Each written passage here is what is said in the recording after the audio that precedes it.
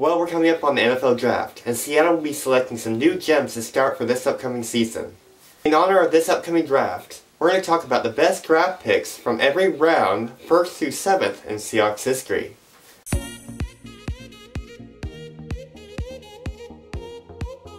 John Harris was selected in the 7th round of the 1978 draft. He played 8 years for Seattle, where he started 111 games and had 41 interceptions. In 1981, he had a team high with 10 interceptions and 2 of them returned for touchdowns.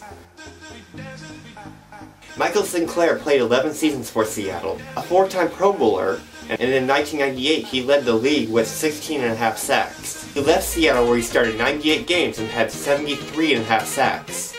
Two bonus facts.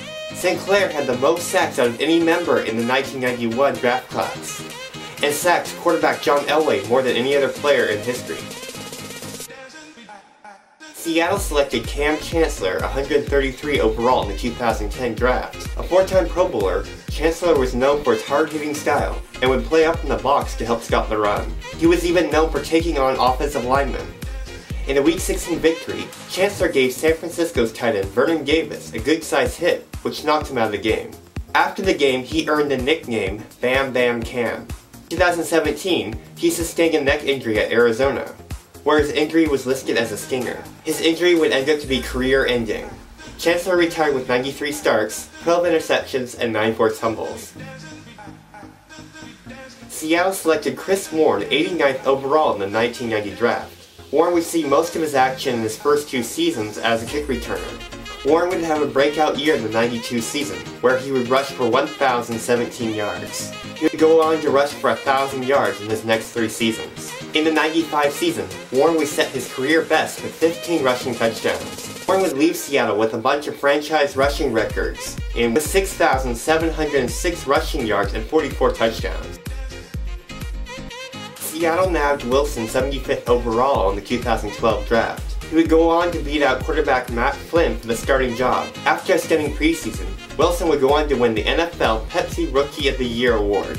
Wilson would take Seattle to back-to-back -back Super Bowls in his next two seasons. He has earned six Pro Bowls and led the NFL in passer rating in 2015.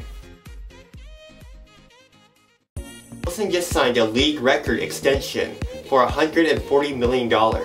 I could go on and on about how good Wilson is, but I don't have enough time. Seattle took Wagner 47th overall in the 2012 draft, just one round ahead of his teammate Wilson. Wagner so far has been selected to 5 Pro Bowls, has recorded 916 tackles, 16 and a half sacks, 9 interceptions, and 3 defensive touchdowns. Wagner, like Wilson, is only going to add to his resume as he continues on play. Ah yes, the Tez. Kennedy was selected third overall in the 1990 draft. He spent his 11 seasons in Seattle with 8 Pro Bowl nods. His dominance made offensive linemen fear for their lives. In many cases, he was double or even triple teamed to keep them away from their quarterback. After a dominant 92 season, he won Defensive Player of the Year. Kennedy retired from football with 153 starts, 58 and a half sacks, and 568 tackles, and 3 interceptions. He was elected to the Pro Football Hall of Fame in 2012. If you enjoyed this movie, please like it and subscribe. I post my movies every Tuesday and Friday. Thanks for watching.